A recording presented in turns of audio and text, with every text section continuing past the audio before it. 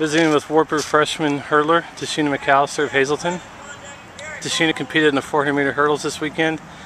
Tashina, just talk about how important it's been for you to be part of this Wartburg track family this year, your first year in the program. Um, it's really important. I mean, um, with the 400 meter hurdles, uh, ran Thursday, didn't make it to finals, but just being here for the team and just being able to experience it means a lot, and the team's just so welcoming. And no matter like what, how, like if I didn't make it to finals, they're still like proud of me. Um, what what have you thought overall of your first outdoor national championship experience? Uh, it's pretty, it's pretty intense. Um, good competition. You got to step up.